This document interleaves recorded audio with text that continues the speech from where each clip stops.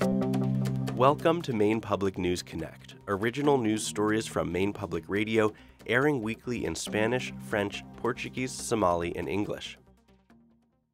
I'm your host, Ari Snyder. Today is Friday, February 10th, and here are the week's top stories.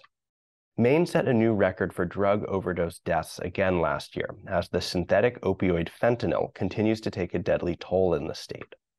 According to unofficial figures released last week, 716 people died of drug overdoses last year. The powerful synthetic drug fentanyl or drugs like it were detected in 79% of the overdose, de- overdose deaths last year, according to data compiled by the state.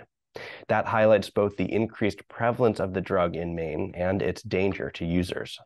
Efforts to build more housing for new immigrants suffered a setback this week when the Portland City Council voted to postpone indefinitely a project that would have created 48 units of affordable housing.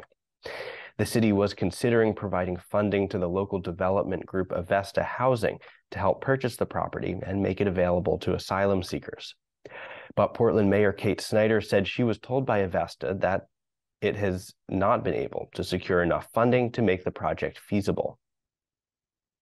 At the same time, local governments and immigration advocates are struggling to find housing for asylum seekers as funding for temporary emergency shelter in motels runs out this spring.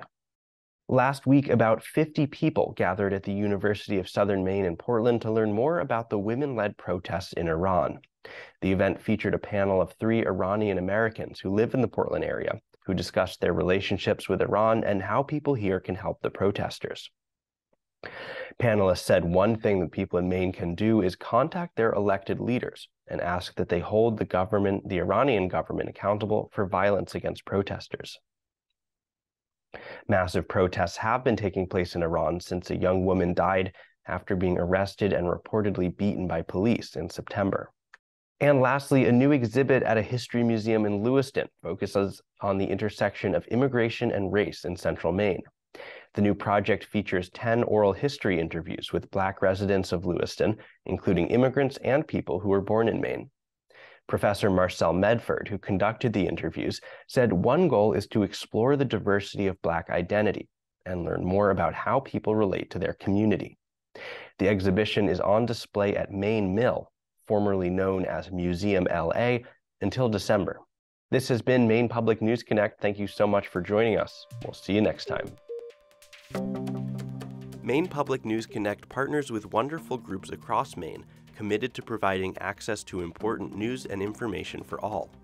We'd especially like to recognize the Maine Immigrants' Rights Coalition, Presente Maine, the Congolese and Angolan communities of Maine, Amjambo Africa, Catholic Charities of Maine, the Greater Portland Immigrant Welcome Center, Portland Adult Education, the Portland Office of Economic Opportunity, Prosperity Maine, the Maine Health Access Foundation, and the Maine Humanities Council for their support and efforts.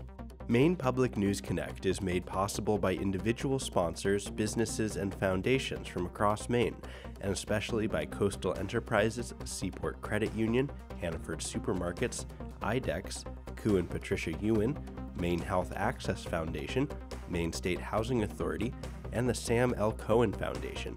Thank you for your significant support. Maine Public News Connect is made possible by Koo and Patricia Yuen, committed to bridging cultural differences in our communities. Juntos. Ensemble. Wadajir. Junto. Seaport Credit Union. Together.